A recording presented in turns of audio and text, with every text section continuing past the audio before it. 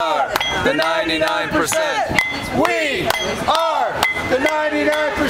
Okay. We Mic check. Okay. Mic check. So let's go over the day. So first we went to Bank of America and Monica got inside and was there did we get a receipt from that fax? We didn't get a we didn't get a fax, but we got the business manager for the bank and Okay. her assistant's number.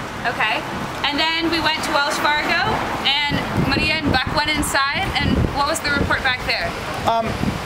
the uh, the interim manager got the assistant manager who said that he would send it to the district manager and ask him to send it stuff. And Maria got the assistant manager's telephone number to follow up on it on Monday.